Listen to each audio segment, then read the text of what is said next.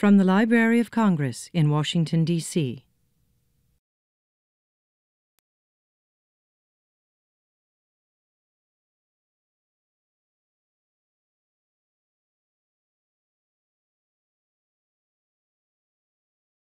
Hello, I'm Gail Shirazi of the Israel Judaica section here at the library.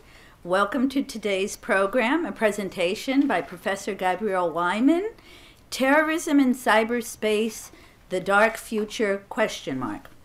Co-sponsored by the Science, Technology, and Business Division here at the library, the Hebrew Language Table here at the library, in cooperation with the Woodrow Wilson International Center for Scholars. I would like to thank the Wilson Center, Lawrence Marcus, and the staff of the Sci Tech and Business Division, our Public Affairs Office, and Galina Tevorovsky of the IJ section for all their support and help. And I would also personally and professionally like to thank Gabi Weimann. Before I introduce the speaker, I would like just to take a few minutes to announce our next program that's in the planning the screening of the award winning film Zemene about a 10 year old girl, Ethiopian girl, who survives her life threatening condition because of the help of American doctor that was sent by the Joint Distribution Committee to Ethiopia. That'll be August 12th at 12 o'clock at the theater. Professor Weimann is a full professor of communications at the University of Haifa in Israel. This is Gabi's third lecture at the library. His previous lectures have been webcast and are accessible through the LC Web homepage. His research includes in, his research interests include the study of media effects, political campaigns, new media technologies and their social impact, persuasion and influence, media, public opinion, modern terrorism, and the mass media. He's published extensively in all these areas. His new book, Terrorism in Cyberspace The Next Generation, was just published by the Woodrow Wilson Center Press and Columbia University Press, and we have copies for sale outside the door. He's received numerous grants, awards from international foundations, was a visiting professor at several universities and institutions, including University of Pennsylvania, Stanford. He was at the Wilson Center, USIP. There's just too much to give him a real good, uh, give you a real good description of his work. So I advise you to go to Google and search for yourself. And this event couldn't have happened at a better time, given the situation with cyber terrorism just these past couple weeks. Before we start, I'd like you to turn off your phones, please, and I want to tell you we're being webcast. So if anybody does not want to be possibly filmed, please don't ask a question. That's the place where they'll zoom in on you. Now I'd like to turn the floor over to Gabi. Thank you all for coming.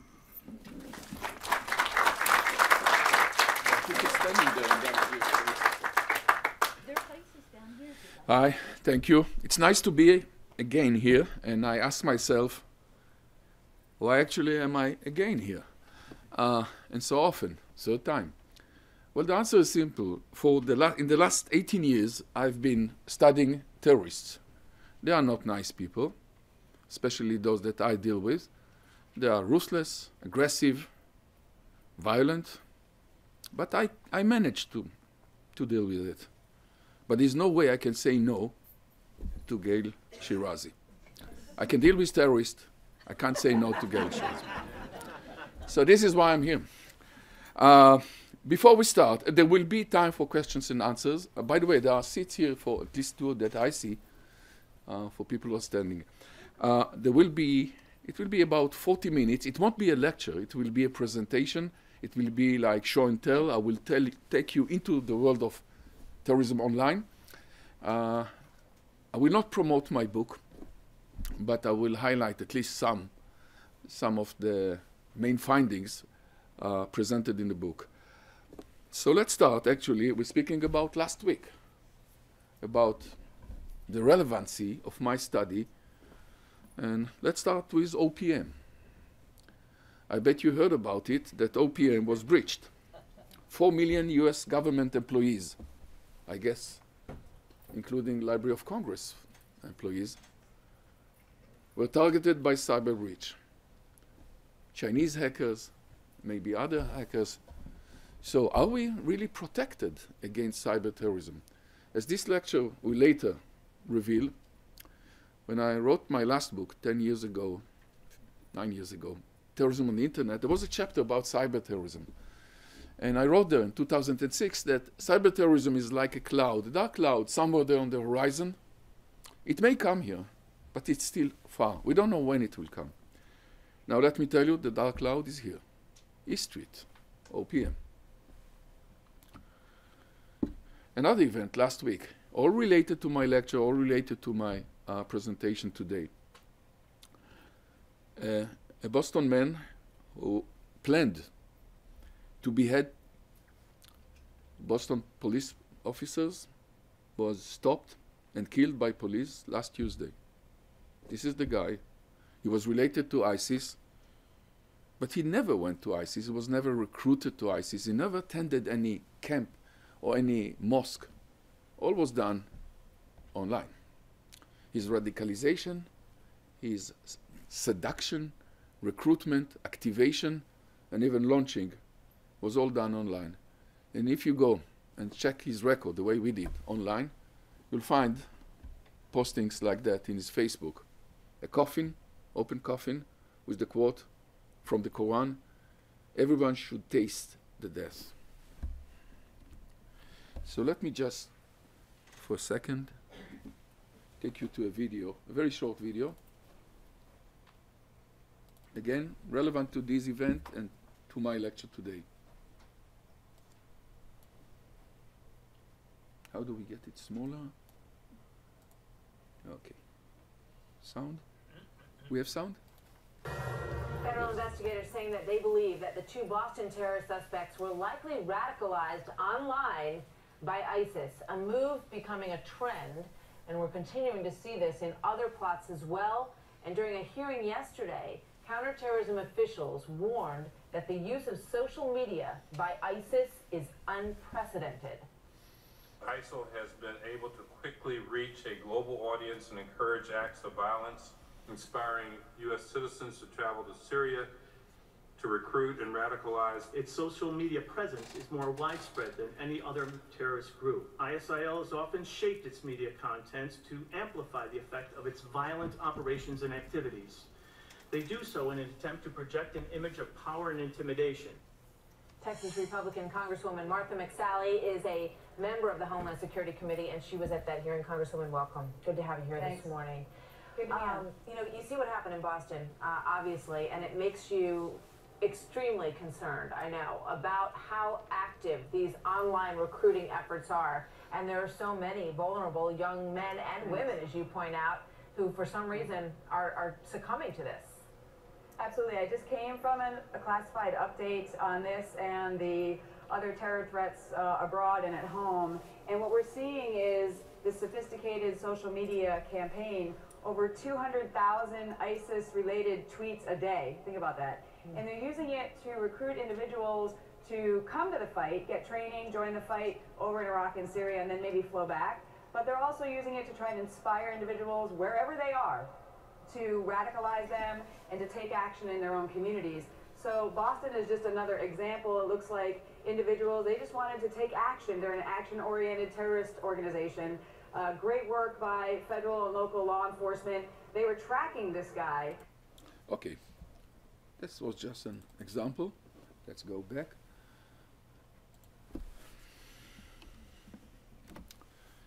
The book that I uh, published recently uh, by Columbia University Press and uh, Wilson Center, Terrorism in Cyberspace, is looking at the future.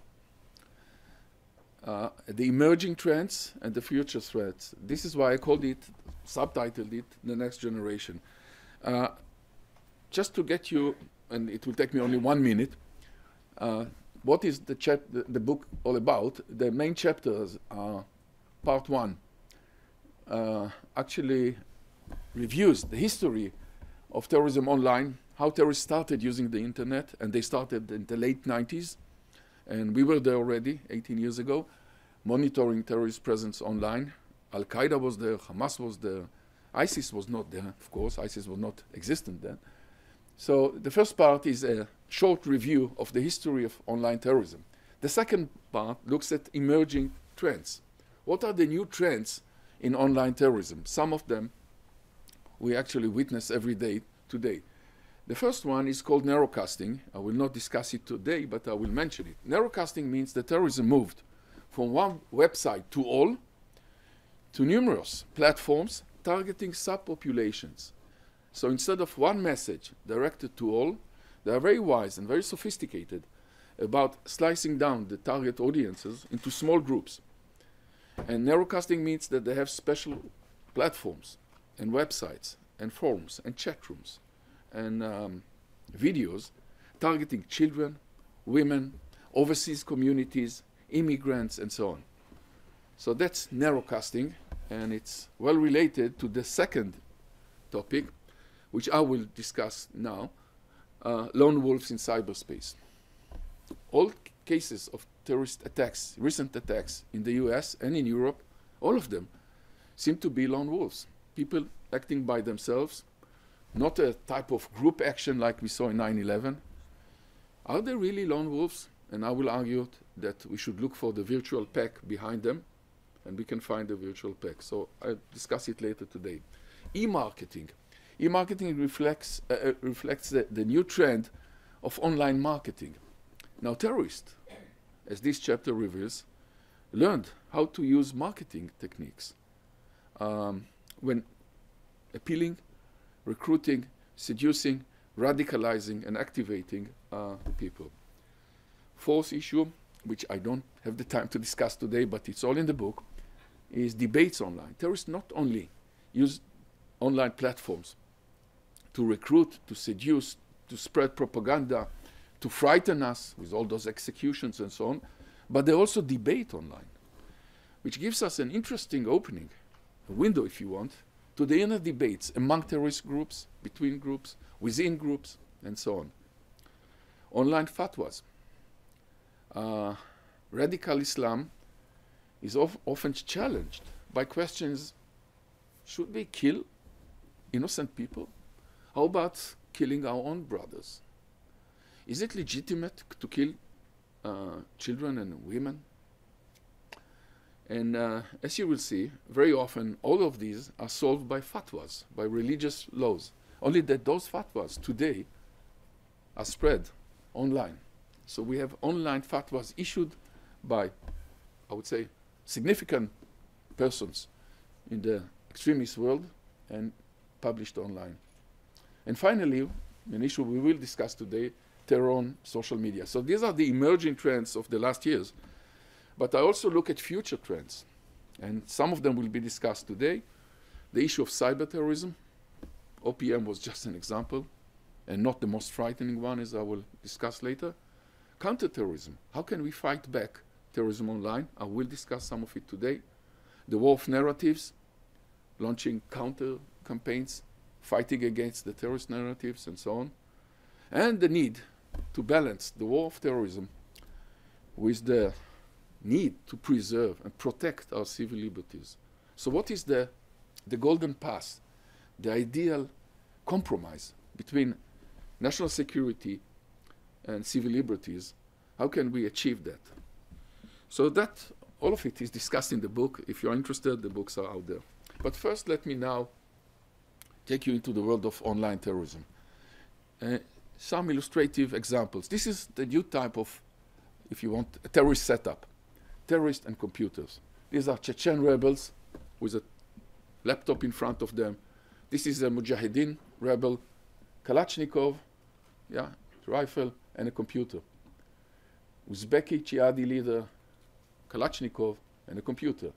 This is the so-called spokesperson in English for Al Qaeda, Adam Yahiye Gadahn, half Jewish by the way, converted to Islam, joined Al Qaeda and became the uh, spokesperson in English. Well, as you can see, two computers. Uh, does this look like a computer lab or a terrorist camp? Well, this is actually a Hezbollah um, bunker captured in 2006. You don't see weapons there, but you see a lot of computers. ISIS, as we know it today, and of course, the recent examples that we witnessed, the executions online, crucifixions online, mass shootings, uh, executions uh, by burning a pilot, beheadings, and so on, all of it videotaped, high definition, edited, and posted online, and gaining, I would say, huge exposure worldwide. So, how do we get all this data? Um, and I'm glad to say I have Yotam Ophir, where are you? Just raise your point. I even have an ex-research assistant involved in this project, now PhD candidate at the University of Pennsylvania. Uh, nice to have you here again. Uh, the study started in 1998. At that time, I had one student, Yariv Tsfati, who was interested in the topic, and we, both of us, monitored terrorism presence online. We had only 12 websites. It was easy, most of them one language only, very stable, uh, not very sophisticated and not well protected. Today we are dealing with over 9,800, almost 10,000 websites. On top of that, all the social platforms, okay, Instagram, YouTube, Twitter, Facebook, and so on. What we do is actually, like librarians, we first download the material and archive it. And then we code it so we can search it, we can analyze it, we can look for any type of information for various studies. Uh, we download everything, visual as well as textual, music, videos, books, manuals, whatever they have. The research, this study was funded by several uh, grants from academic institutions, USIP including National Institute of Justice, NIJ in the States, Woodrow Wilson Center, and recently the European Community, EU, which is funding our uh, current research on online radicalization. All our findings are reported in books like the one you see outside or the previous books. You see some of them here, special reports, and so on. This book was the last one I published in 2006, now replaced by the new book, 2015, that looks at what happened since there and at the near future. Uh, let me argue that there were three stages in terrorist presence online. The first one, the early one, starting in the late 90s, was websites only. Each terrorist group, first 12, then 20, today all of them, had websites. Websites in which they presented propaganda, uh, the leadership, some information about how to join them, and so on. Uh, the second stage started later, in the early 2000s, when they were looking for interactive ways not just one way websites, but they wanted to interact with the audiences, to seduce, to convince, to recruit. They needed interactive platforms. So they added, in the second stage, interactive platforms like forums and chat rooms. And the third stage, which is currently uh, the hottest uh, platform, are the social media, meaning YouTube, Facebook, Twitter, Instagram, and so on.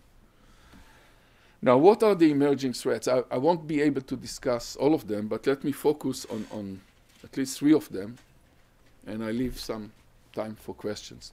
Lone wolves in cyberspace, the migration to social media, and the future threat, or the current threat actually, of cyber terrorism. As I said, the dark cloud already came to us. Well, lone wolves. The term lone wolves is wrong and misleading. It gives us the idea that these are individuals working by themselves, operating by themselves. Well, like in nat nature, the real wolves never hunt alone. A lone wolf in nature will die. They need a pack in order to hunt effectively. And the same applies to terrorism. We may see the lone operator, the lone attacker, the guy with the knife, the guy with the bomb, those guys with the pressure cooker in the marathon uh, in Boston. But trust me, behind each one of them, there's a virtual pack. There's a pack that recruited them, that radicalized them, that taught them, trained them, and launched them. They are never alone. The only thing is that all of these virtual packs are to be found online. And this is the new trend because most of recent terrorist attacks, and I, I guess those in the future, will not be in the old form of Al Qaeda, uh, like a huge group attacking, but will be, as they are now, a lone wolf attacking. A lone wolf backed, supported, directed by a virtual pack, and all of this is done online. So all we have to do is actually go into cyberspace and look for the fingerprint, uh, fi uh, footprints. And you find the footprints, the virtual footprints in the cyberspace, leading, revealing the, the pack behind them. Let's look at the Boston Marathon attack that took place April 2013, two years ago. Those two guys, the two brothers that you see here, the Tsarnaev brothers, never attended any terrorist camp. They never went to any recruitment process. And they didn't know anything about bombing a marathon. But they knew because they learned. They were recruited, seduced, and I would say trained online. The tracks they left online, and there are so many of them, you can find easily if you search the track on social platforms. You'll find Twitter postings, tweets. You'll find um, Facebook postings. You'll find the pages that they downloaded, including one that you see here on the right. Hmm. That one? Open source jihad. Okay, what's that? That's a manual, online manual for terrorists. Uh, taken from a magazine called Inspire, published in English online. And one of the um, elements there is, if you can see it, make a bomb in the kitchen of your mom. If you open that page, you're very likely to see this. Instructions how to build a bomb from pressure cooker. By the way, I erased the lines, so I, I don't want to teach you. I bet some of you have pressure cookers at home and some of you have, well, targets in mind. So, but they certainly downloaded it because they followed it. They did exactly what is shown there. And they followed the advice from open source jihad, as did so many other lone wolves. Remember the last month's attack in Texas? And uh, the people who were involved, Elton Simpson and Nadir Soofi, lone wolves. Really? Well, here's the here are the footprints in the snow, if you want, in the cyber snow. They left tracks behind, and you could easily see which kind of websites. The one that I highlight here in the top is the, white, the website of Awlaki, the preacher of Al Qaeda. Even after his death, he's still popular, and he will be mentioned today several times. So they went to his website and they downloaded his preaching, his suggestions, his ideas. But they also left messages on um, Facebook and Twitter. And uh, as you see, may Allah accept us as mujahideen. That was just the day they planned to attack. And who was the recruiter of those lo two lone wolves? We can find him too. Uh, as in the Hebdo attack in France, Charlie Hebdo, the cartoons, the Muhammad cartoons attack, this guy, nicknamed Mujahideen Miski, and we know who he is, suggested to those two guys in Texas that you should do their own part as it was done in France. So you can reveal the recruiters, the seducers, the launching, and so on. All of these guys are lone wolves. None of them was really a lone wolf. And just to show you that if we look at in a graphical way, who were they linked to? Forget the colors and the names and so on, but you can see one thing in common.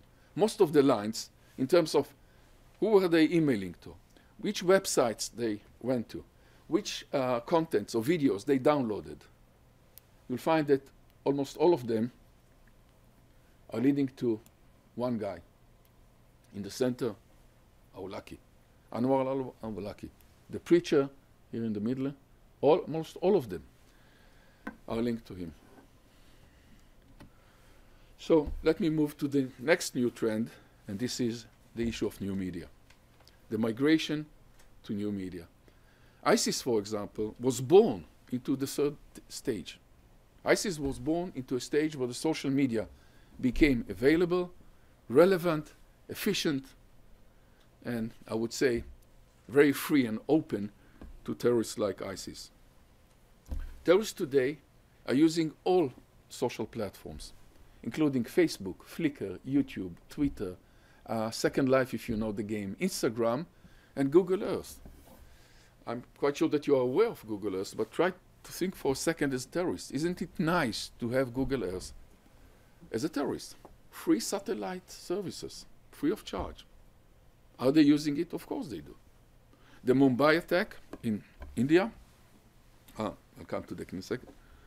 The terrorists that attacked Mumbai, several, in the same day, several targets at the same time. It was coffee shop, hotel, train station, and the Chabad uh, synagogue, killing the rabbi and his family. All of them came with cellular phones that had Google Earth maps, satellite maps, directing them how to get to the location of the target and the timing, the differences, timing, and so on. So, isn't it nice to have such services? Now, why are the social media so relevant for them? First of all, because they are interactive. It's a two way chat. They can talk to people, they can convince people, they can seduce people, they can recruit people. Now, ISIS recruited 30,000 warriors, thousands of them from Western societies, Europe, North America, and so on. And it was all done online. Because they can use it to talk to people, to target people, to convince, to seduce. And when we speak about narrowcasting, it means it's not one appeal to all. ISIS is successful because ISIS knows how to direct different appeals to different populations. And they can recruit people who are thrill seekers or people who are socially, I would say, uh, alienated, frustrated, hopeless. They can use the social bonding motive come to us, brother. Not for terrorism, not for suicide, not for killing. Just be part of us. We'll provide you with a community, with brotherhood. Terrorism, suicide, action will come later. Different appeals, narrowcasting, very efficient on social media. This is why they have so many platforms. And remember the number 200,000 tweets by ISIS in day. They, they tweet all over. And they use the new recruits to rec recruit the others. So French uh, ISIS recruits will speak French to French populations. Germans will do it, English, Canadian, American, and so on. Now, social media are also very trendy, very popular, especially among young audiences. Um, and if you want, it's not waiting for you to come to us to visit our website. It's us coming to you and knocking on your door using social media. So it's, a, it's more like a, a, a push strategy in, in marketing than instead of the pull. I'm not waiting for you, I'm coming to you. I'm going to contact you using those social media. and only recently, months ago, FBI's uh, director, James Comey, says that the social media are the biggest threat in terms of future terrorism. And I fully agree. Now, how do they use it?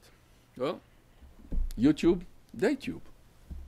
Uh, you can even see that they managed to have their own YouTube, calling it JihadTube. You see on the bottom? Uh, broadcast your holy war. JihadTube, the, using the logo of YouTube. Why YouTube? Because YouTube is visual, attractive, uh, very easy to find, uh, appealing very much to young people, and can be downloaded. People can download it to the telephones, to the CDs, uh, watch it at home, show it to others, and so on. Now, let me give you just one example, a few examples. How YouTube is used. If you just now access YouTube, go to the search engine and put the word Hamas, you'll find that there are 9,890 videos of Hamas online right now. If you put the Hamas Islamic resistance movement, okay, you'll find 1,460, 80 videos posted. Remember Awlaki? The preacher, the vicious one, the one that was connected to so many lone wolves, even after his death.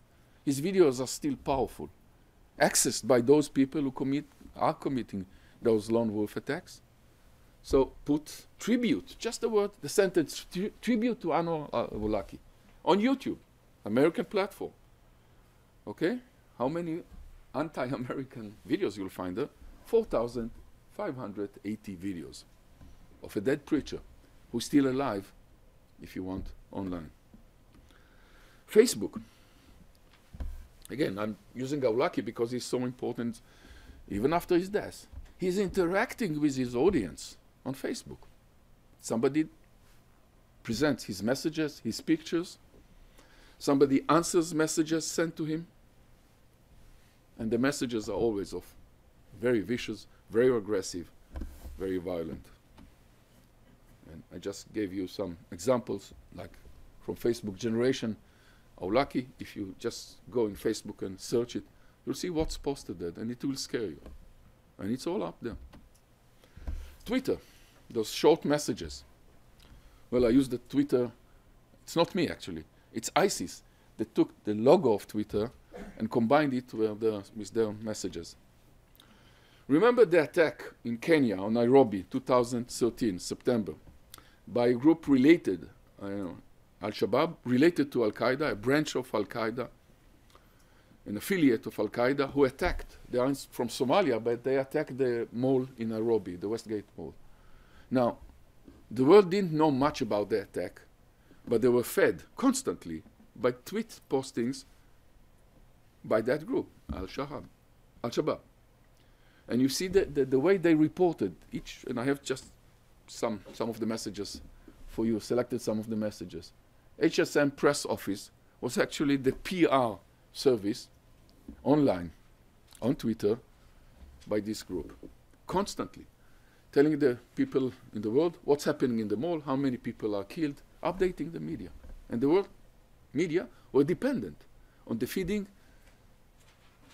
on those feeds coming on Twitter from a terrorist group. Al Qaeda is on Twitter, and um, ISIS is on Twitter, using Twitter to post and direct people to watch the videos on mass executions. I'm not going to show you any of those gruesome videos, but you know them and you saw them. All of it is not just posted online, but promoted on social platforms. Prisoners crucified by ISIS. And the recent example, again, just weeks ago, um, a tweet called London Attack, uh, calling May 11, calling to attack London, and believe it or not, one of those postings include a list of Jewish targets in London, synagogues, uh, officials, um, embassy people, the addresses, and, and so on. So let's move to the last one, the third threat, and maybe the most dangerous one, cyber terrorism. Now, what's the difference? Instead of using the internet, instead of using those platforms, we are looking at attacking the platforms, attacking the internet, attacking computer networks. Now we rely heavily on, on computers. Everything that we do, from banking to education, from our work to our transportation, from uh, infrastructure, um, from our transportation, everything is con controlled by computers. Now instead of hijacking planes, why don't they damage the control systems?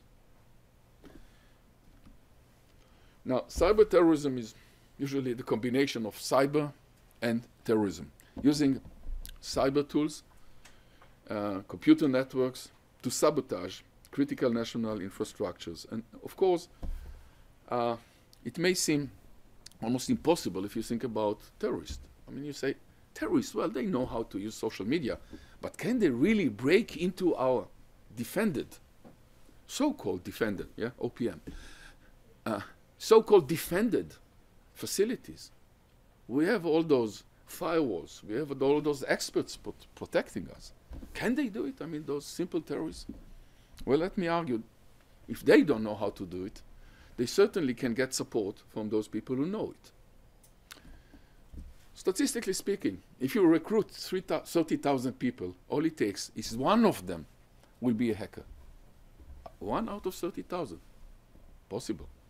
Second, they can buy the services of professional hackers. Buy them for money, buy them or recruit them, seduce them ideologically, religiously, whatever. And the third option, which is the scariest one, terrorists very often are backed, supported by states. Iran is supporting several terrorist groups. Syria, now North Korea. Those countries have military units that are specializing in cyber attacks. And the attack on, on from China came from professional hackers on OPM. Now just imagine that some of those states will provide services to terrorist organizations.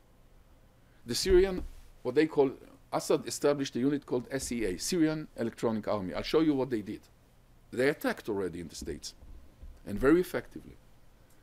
Now let's say that Assad feels that he's losing, that it's doomsday for them. Won't he provide organizations like Hezbollah with the services of professional hackers from SEA? How about Iran and others? What, are, what, they can, what can they do to us? Well, think about all these systems, from government operations, including Library of Congress or OPM, to gas, oil, storage, delivery, water facilities, banking, transportation, electric energy, nuclear energy, all of them controlled by computers. Or the issue of how many of you know the, the term botnet? Okay, good. To those of you who don't know, the idea is, is, is quite simple. Let's say that I'm a hacker who wants to attack an, uh, a computer network. And one of the ways to do it is to plant a virus in computers, in other computers. That is, spread virus all over the world in computers. By the way, it's very likely that some of you are already having a bot infection in your computer. Now, this is a dormant virus. It won't harm your computer. It won't slow it down. It won't do anything. You won't know it's there. You won't find it. And it won't wake up until one day the operator will send a message to that, to that network of viruses asking them to send at the same time message or ping a target which will cause a collapse. Now, is it a, a, scenario? Is it a dream or nightmare? No, it happened already, and it happened in several countries. But let me just uh, use FBI statistics. 18 bot-infected comp computers every second. Every second. There are 18 bot-infected. Um, and if you look at the map of countries infected, uh, it's hard to, to say, but in the US, 14%, 14% of the computers are bot infected. Most of them dormant. They don't do anything, but they may be activated one day. And the same about Europe, 4%, 6%, 5% of the computers and so on. Uh, was it used? Well, we saw the, the Estonia cyber attack in 2007, causing the collapse of the entire computer system of a state. From banks to universities, from government to transportation, everything collapsed due to an attack, a type of um, denial of service attack stemming from Russian hackers. Another example, before the Russians invaded Georgia, the same type of cyber attack. So it's not really uh, just a scenario. It happened and it happens. Now, what does it take for terrorists to do it? First one is motivation, and the second one is the capability, the knowledge, the skills to do it. Now, motivation. How can we study motivation? We looked, we are monitoring terrorist chatter. We are looking at the number of times they write about cyber terrorism, consider cyber terrorism, suggest cyber terrorism. And I have all the indications that this is really appealing to them today more than in the past. And again, try to think like terrorists. After 9 11, what could be more dramatic, more effective than cyber terrorism? because 9-11 was really dramatic. I mean, killing 3,000 people in one day, targeting and, and hitting the most important places or symbols of American economy, American military, and American politics. What can top that? Cyber attack. Now, the issue of know-how is more difficult because it's not that easy to, to upload a video to, to a website or to YouTube. Well, every child can do it. To attack infrastructure, well protected, you need professionals who can do it. Well, they can be both or they can be taught. They can be radicalized, they can be recruited, or they can be both for money. To indicate that they are interested in cyber terrorism, look at ISIS posting. This is one of the recent ones that just pulled out, out of many examples. ISIS, in May 2015, posted this threat of using cyber terrorism against this, the West. Now, who can be supporting them? As I said, states that have the units, they have the capacities, they have the professionals who can provide them. And again, remember the relationships between some terrorist groups and the states supporting them, let it be Iran, Syria, and others. They can provide. Second, criminals, cybercrime, the combination of criminals working, criminal hackers working for terrorist groups or bought by terrorist groups. Terrorists themselves that can recruit people who will be converted, who will be seduced to join. Well, I'll skip that. It certainly looks like a number one threat in the future, and the recent attack on OPM is just an example of what we can face in the future. And it may also indicate to us that if we think that we are so well protected and we are well guarded by all these firewalls, remember OPM. And let me show you that it doesn't take much in terms of cyber terrorism to create havoc, um, if you see, if you want anarchy, and collapse of Wall Street. April 2013, two years ago, SEA, that is the Syrian Electronic Army, launched a campaign against American media, American banks, an online campaign, cyber campaign. Now, who is the CIA, SEA? As I said, it's a military unit of hackers working for President Hafez al-Assad, the Syrian president.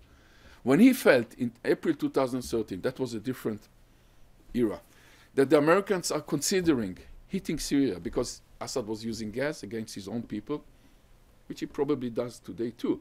But he wanted to, I would say, show the Americans the potential of a cyber attack. So his uh, hackers attacked numerous facilities, including the AP, Associated Press, okay, the news agency.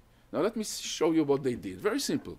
For a few minutes, they managed to present, you see the bottom left, uh, a message. AP, the Associated Press, they broke into the AP um, Twitter and they posted the message, breaking news, two explosions in the White House and Barack Obama is injured. Now that was of course false. But for a couple of minutes, it was spread. Now, AP has thousands of clients, news organizations, television, radio stations, newspapers, and so on, and online. And it was spread all over. What did it cause? Now look at the graph, and you can see up here. This is the time, okay? One o'clock. This was released around one o'clock. You see the drop here, the collapse of the Dow Jones, and a loss of 136 billion dollars, only for those minutes, few minutes, that SEA managed to spread the false message. So it didn't take much to cause this collapse. Just breaking into a Twitter of AP and posting a false message. Just to show you the potential of cyber attack. So I'm getting close to the conclusion.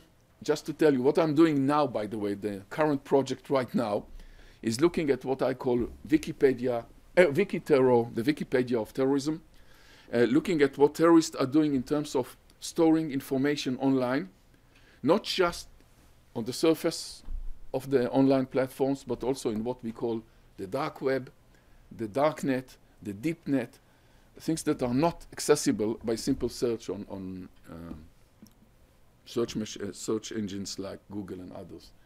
And uh, just to show you that they are collecting, they are building their own library, okay, library of terrorism, the Wikipedia of terrorism, starting with the Al Qaeda uh, booklet, Lone Mujahideen pocket book, that is a guide for lone wolves online, or the recent one, the uh, ISIS guide, published in 2015, just this year, How to Survive in the West.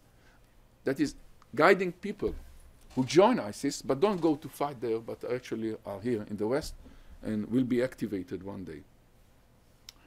Another one, A Brief Guide to the Islamic State, 2015. These are all the type of material that we are looking now into filing them, archiving them, um, analyzing them, trying to see how terrorism is using those online facilities to build their own library of terrorism. So finally, the question that I guess some of you will be asking, so is it a dark future? Does it mean that we are doomed to see a wave of smarter, more sophisticated, and more dangerous terrorism? Now, what can we do about it? I think we have to understand that there is a new war, there is a new arena that we fight in for years now, and there are new challenges, but there are also new ways that we should consider in fighting terrorism. And in my book, I suggest some of them. Let me just highlight very briefly some points. The first one is that in order to fight online terrorism, we need new type of soldiers, new warriors, people who are equipped with a different knowledge, new weapons, and new defenses. Um, that's clear. But it also is related to my claim that the war on terrorism should be regulated. It's not regulated right now. It's a wild, wild west that goes there. There are no regulations whatsoever. Who is allowed to do what to whom and how? Now we need to regulate it because, uh, as I said in the beginning, we must find the balance, the optimal balance between the compromise, the ideal compromise between civil liberties, sacrificing some liber uh, liberal liberties, some liberties, and national security. We can't have both 100%.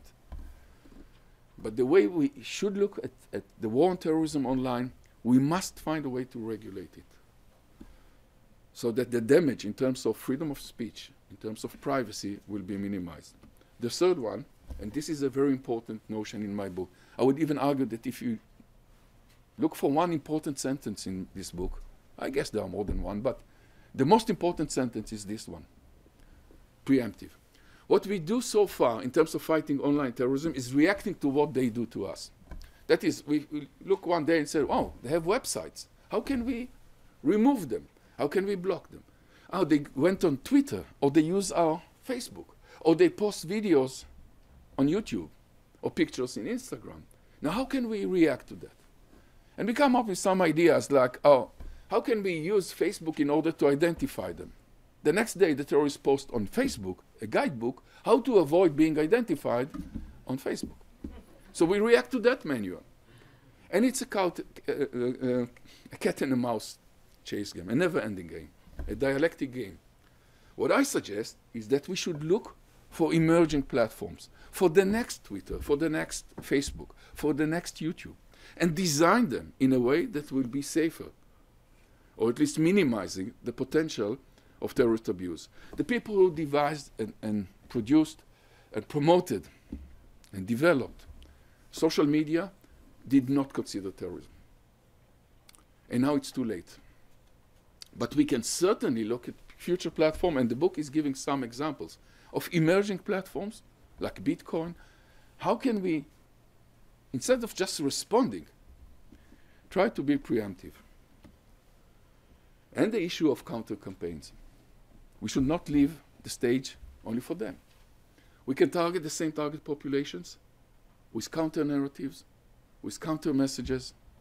We should launch our own campaigns. And I sometimes wonder how come that this state, the US, which is leading the world in terms of political and commercial campaign, so successfully, so sophisticated, how come it never came up with a su successful counterterrorism campaign?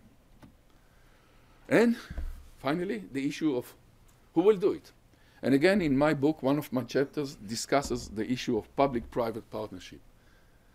This war is launched, uh, it, this counterterrorism war, especially when you think about cyber terrorism, should not be launched or conducted only by private sectors, private companies, or by the public sector. It should be done by combination of two, of the two sectors. However, as I present in the book, well, it's hard to see here, what we have today is uh, not a very coordinated type of uh, cooperation. When public agencies uh, are one-on-one cooperating with private sectors, what I suggested that we will have a mediating uh, organ, Um, a coordinating organ that will coordinate all the advantages for both sides and connect the public sector with the, pub with the private sector when it comes to fighting terrorism. And I think both sides can benefit from this cooperation. And certainly, if this cooperation will not be done as it is done today, one on one, and sometimes in a parallel way, but in a more coordinated way. And of course, international cooperation, because this war is not the war of one state. In cyberspace, there are no boundaries, no police, no immigration officers. It's a, it's a global war. So we need to, to broaden uh, the ties between countries and to get international cooperation. That's it. Thank you very much.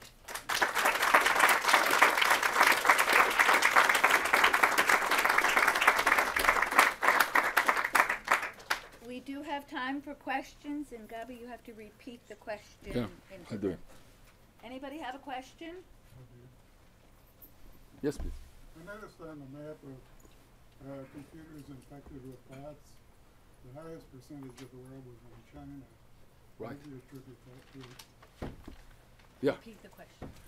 Yeah, uh, the statistics about botnet infections are alarming. Uh, and as you said, you noted that the highest number was in China. Uh, and again, we have to remember that a percent in China is a huge amount in terms of the number of uh, computers and, and the, uh, the size of the population. So yes, botnet should should be um, bothering us. We are not aware of the sizes. We can. These are only estimates. But the fact that countries like the U.S., which is supposed to be protected, has 14% of the computers, or China has even more than that, is an alarming fact. This is what I'm trying to say. Yes, please. Can you say anything about the, the relationship between Israel, since you're Israeli, and the United States? Yeah. That's a good question, and I'll repeat it. doing better than the other, and are they Okay. I was asked whether I can uh, relate to the uh, Israeli experience in fighting online terrorism, the American experience, and so on. Let me first uh, emphasize the need to cooperate. Because boundaries and borders and political identities don't mean anything in cyberspace. You can sit in an internet cafe in Manila, the Philippines, and attack New York. Or you can do sit in New York and attack the Philippines. It, it, it, it, it's a global war. war. Now, the Israeli experience, uh, but before speaking about the Israeli experience, let me first speak about the European experience. I'm now involved in a multi Euro um, project, five years, 12 European countries, and the title of the project is Radicalization Online. 12 countries in Europe are terrified, and this is an understatement, terrified from online radicalization because they have huge minorities and they have people who are recruited by ISIS and go to ISIS or are dormant cells in the countries. 12 countries cooperating together will provide a better understanding and better means of fighting, and we have already practical findings after one year only uh, from this study. I'll give you later one example. Uh, and again, it's not one country, it's 12 countries together challenged by the same, by, by the same threat. The Israeli experience. Israel, unfortunately, is a, a target for cyber terrorism, as is other terrorist attacks. Uh, the numbers are alarming. I mean, there are thousands of attacks every day. So the Israelis did manage to, I would say, develop some protective measures and also to build this type of uh, public partner uh, cooperation, monitored, regulated, coordinated by one office only, the Prime Minister's office.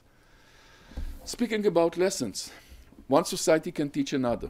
Uh, from our project in Europe, the EU project, um, we found out uh, there was a study in England about all those people, and there are hundreds of them, that went from England to join ISIS. one common finding.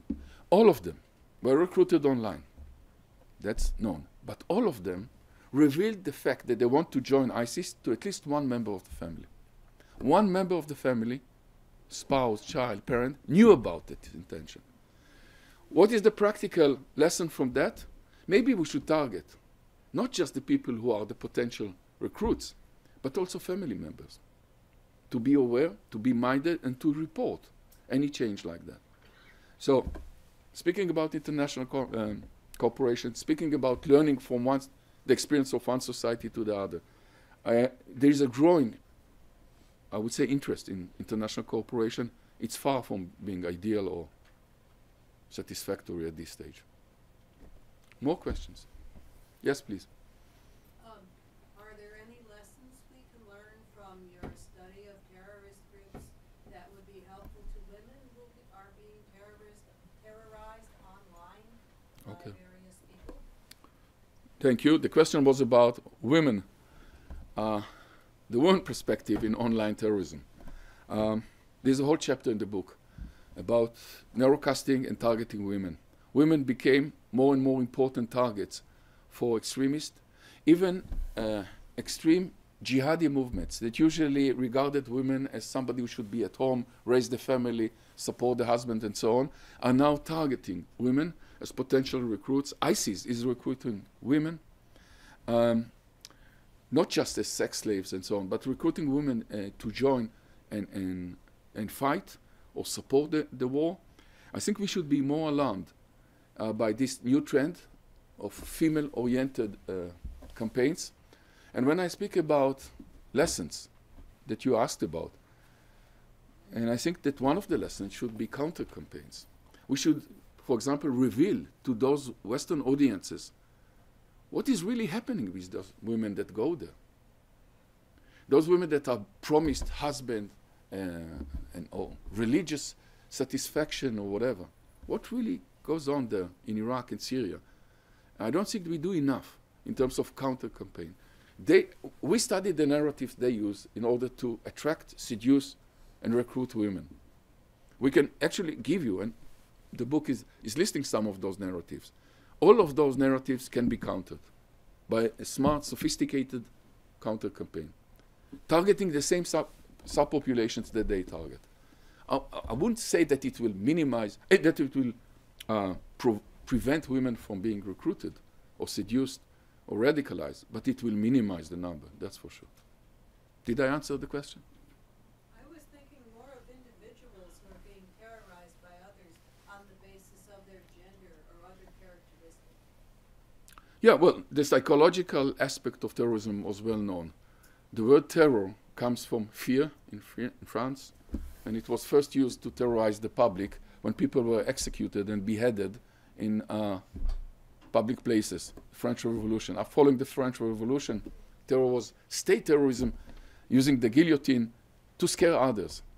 Today, the executions do the same thing, only that instead of putting it in a public place, they put it on YouTube or Facebook and so on. Uh, we do have to consider the psychological impact of, of terrorism. Uh, they are certainly launching, and one of the earliest uses of online terrorism was to scare people not just propaganda, but psychological warfare. And the idea of presenting people beheaded, uh, march to mass executions and those mass, graving, mass graves, uh, the burning of pilots in cages and all that, the, the beheadings of journalists, it's all part of a psychological warfare. And that's a very important ingredient in the terrorist campaign. Yes, please. Is there anything that, um, is there anything that your book addresses regarding the news media and what the news media can do uh, in terms of maybe uh, inadvertently popularizing or mm. glamorizing yes. Uh, well, let me direct you to another book, a much better book called Theater of Terror, published by Gabriel Weimann some years ago. um, at that time, that, that book came out in the 90s, and we looked at, uh, let's call it the old media, the conventional media, radio, television, so on. And, one, and, and the book was called The Theater of, of, Terror, applying the metaphor of theater, arguing that terrorist attacks are usually a kind of theater production, where the media provide the stage and the audiences are the real target. That is, the people, for example, the Israeli athletes killed in the, in the Munich massacre were not really the target. They provided the blood, the drama, the attraction, the news, the story. The real target are the audiences, and that relates again to the psychological impact or the political messages sent to audiences. 800 million uh, viewers were watching the Munich Olympic live, the, the massacre actually, the, the event. And then we looked at the last chapter in that book, The Theater of Terror, available at the Library of Congress. Um, the last chapter is a question Must the show go on?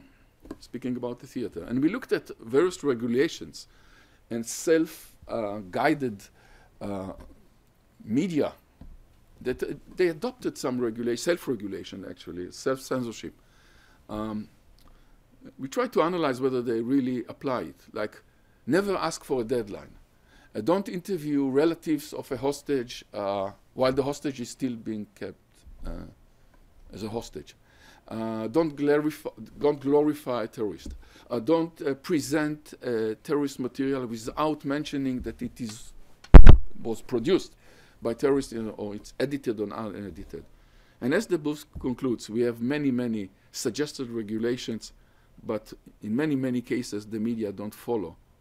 Uh, during the hype of a terrorist case, um, anything will go, including asking terrorists for deadlines, interviewing family members, uh, showing horrible and gruesome videos.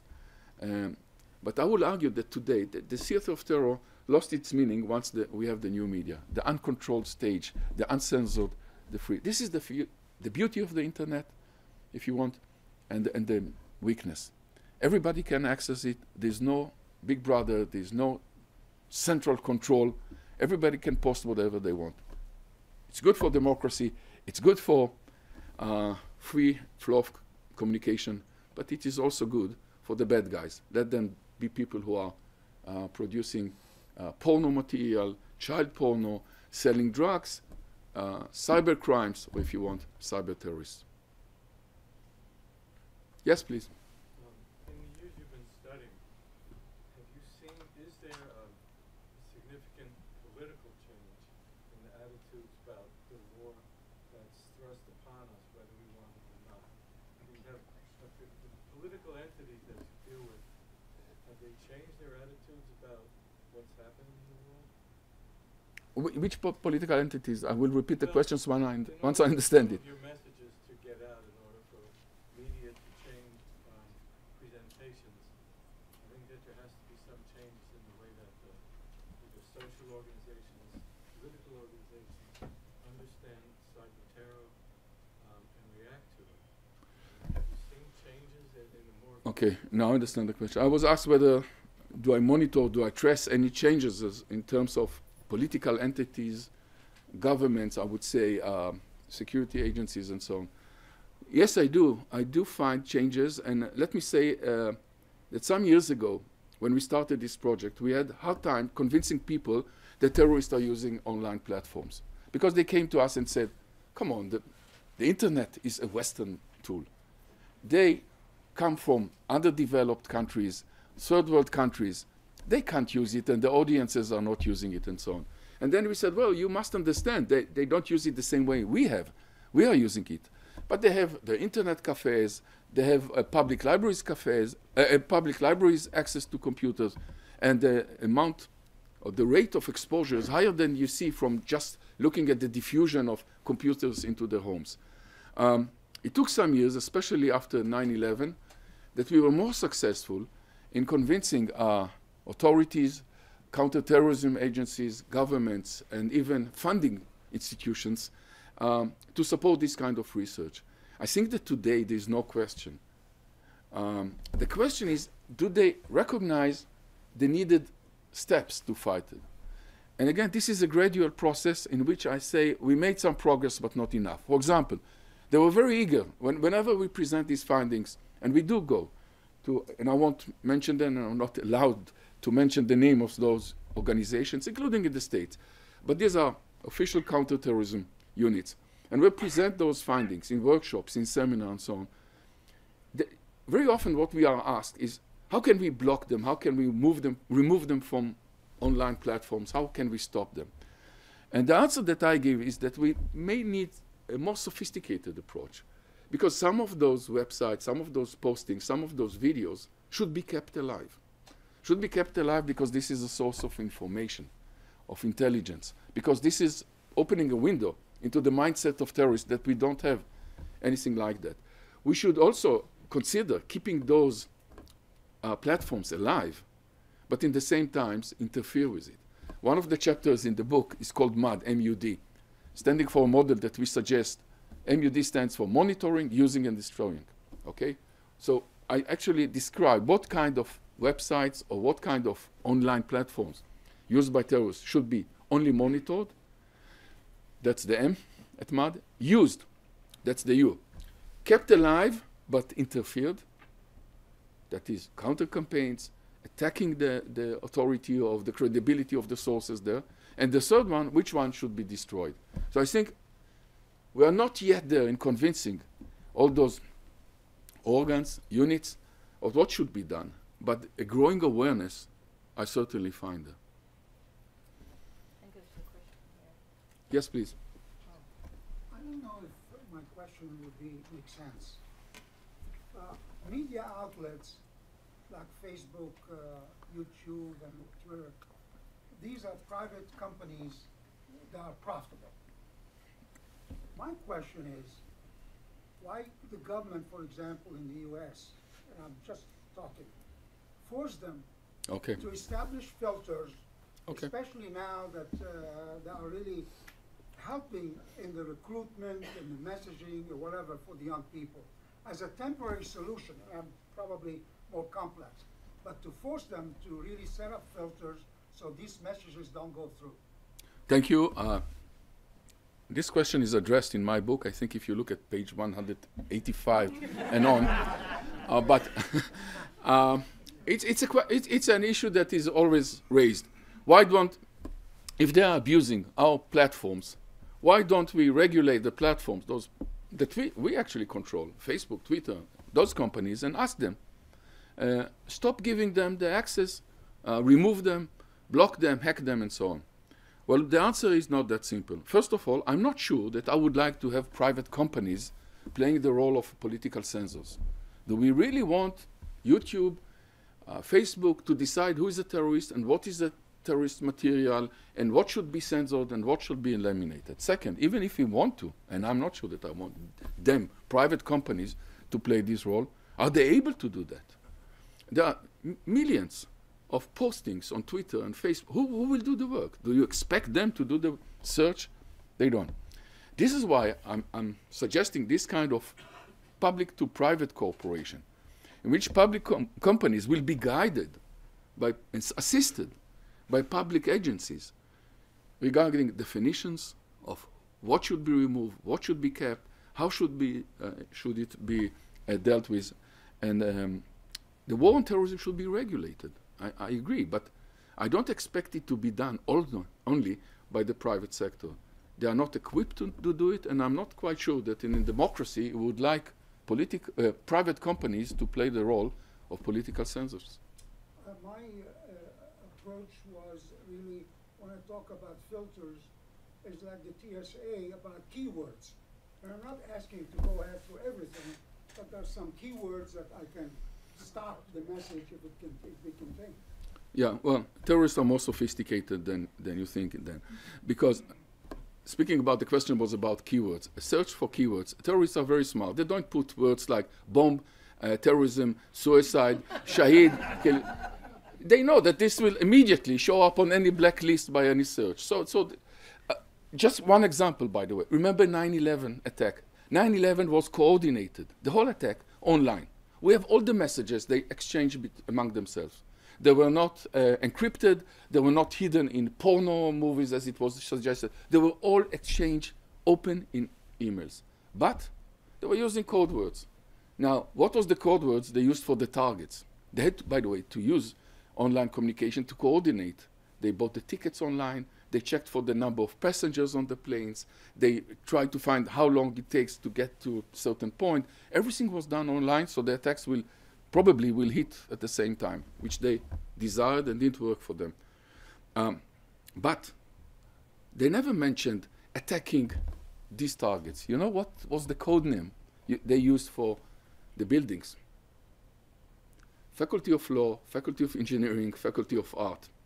So they're smart enough to avoid using those code words that could be easily identified by any simple crawler or search machine. I appreciate what you're saying, by the way, I understand. But you did show a lot of emails. Right. The words of Allah, jihad. Yeah. And these are key words. At least Yeah. a good percentage of it you can really knock off. Now try to play the role of the owner of Twitter now and Facebook, and we come to you and said, you know, give me the list of all the people who mentioned Allah in the messages. You'll get billions of postings every hour. Would you be able, as the owner of Facebook, who wants to make money, as you said, to be engaged in monitoring, finding who are these people, what are the messages, should be should it be eliminated? Well, there must be some rewards given to you. And this is what I suggest by the public private cooperation, looking for the mutual advantages in which some of the services will be provided by the public services and some by the private sector. But you can't rely only on, on the private sector and tell them, you do the war for terrorism, on terrorism for us. We have time for two more questions. Gabby? Yeah, please. Yes, are you optimistic or pessimistic about the future?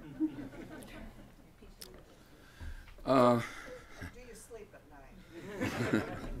That's a good question. I, I will tell you when I don't sleep what makes me really troubled.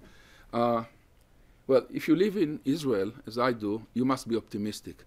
Uh, surrounded by enemies from outside, and if I may even say, challenged by political election results that are not comforting, to say the least, uh, when it comes to Israeli politics right now.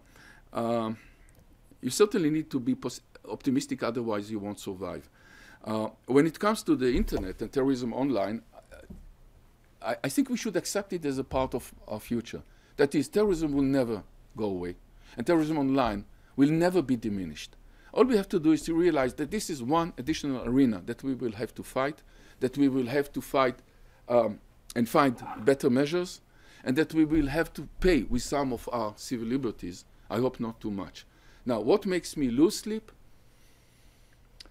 Uh, I'll tell you what, and this is the, I didn't show it to you because this is really alarming. It's not the beheadings, and it's not the, the, uh, the crucifixion and, and the, those gruesome videos of burning and shooting and so on.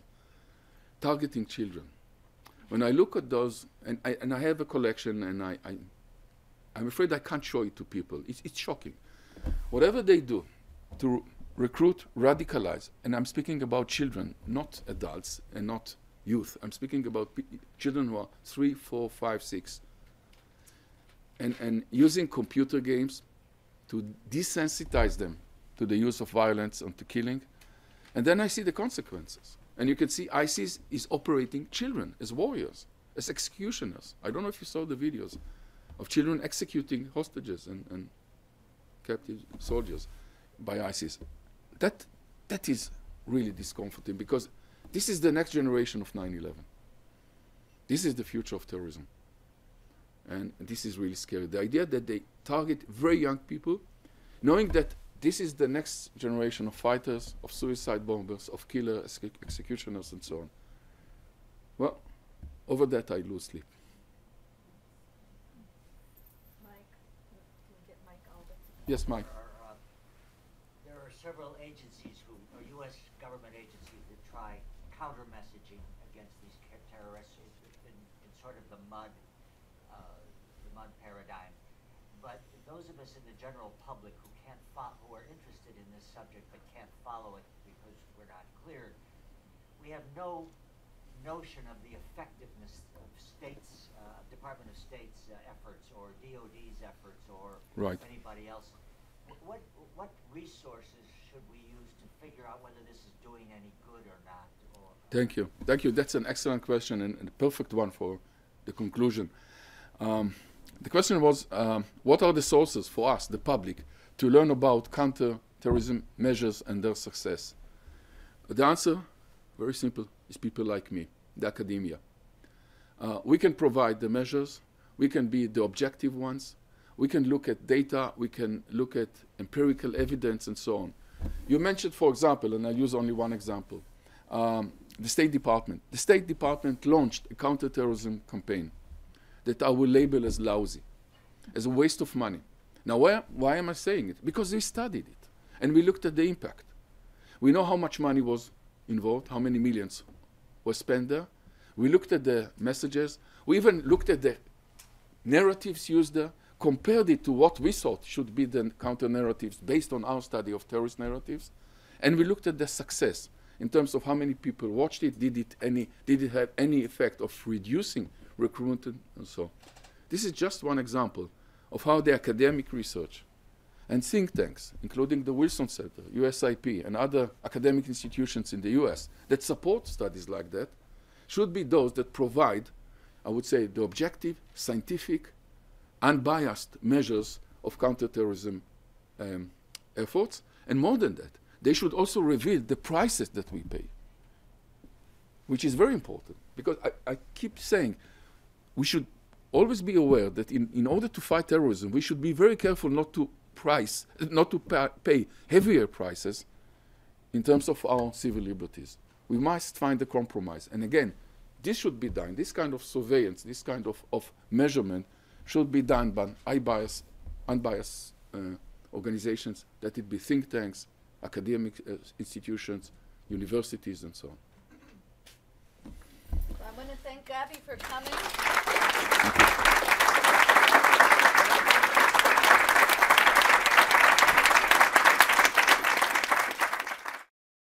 This has been a presentation of the Library of Congress.